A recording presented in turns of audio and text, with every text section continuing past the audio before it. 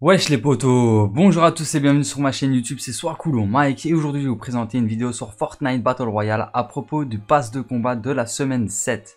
Donc voilà, les défis sont seulement arrivés maintenant pour moi, j'ai pas pu les faire auparavant parce que ben depuis midi j'essaye de les faire et il a pas moyen.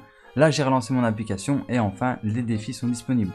Donc le tuto que je vais vous montrer sur cette vidéo, c'est tout simplement suivre la carte au trésor de Retairo. Donc après 5 heures d'attente, je peux enfin présenter mes tutos. Donc la première chose que je vais montrer, c'est l'emplacement de la carte au trésor qui se trouve à Retairo. Donc voilà, j'ai trouvé la carte au trésor, elle se trouve ici à côté des magasins, en dessous du poteau électrique. Donc regardez, vous cassez ça. Et la carte au trésor se trouve juste là.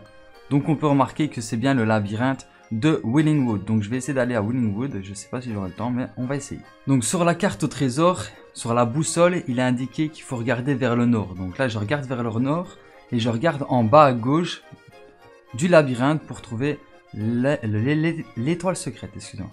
Donc elle est juste ici, voilà, au calme. Donc je fais une petite jubilation parce que je l'ai trouvée. Donc je la collecte avant qu'il me tue. Voilà. Et maintenant, bien sûr, il faut absolument soit mourir ou soit faire top 1 pour pouvoir euh, valider le défi. Donc là, ben, je suis mort. Donc vous allez voir que j'ai bien validé le défi.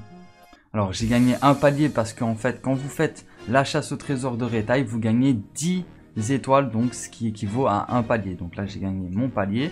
Je vais voir dans passe de combat et je regarde dans la semaine 7 et on peut remarquer que la carte au trésor de Retairo a été validée. Donc voilà, c'est tout pour ce petit tuto. J'espère qu'il vous aura plu. Si c'est le cas, n'hésitez surtout pas à liker, à partager et à vous abonner si ce n'est pas déjà fait. Moi, je vous dis à très bientôt pour plus de vidéos les photos. Allez, ciao, peace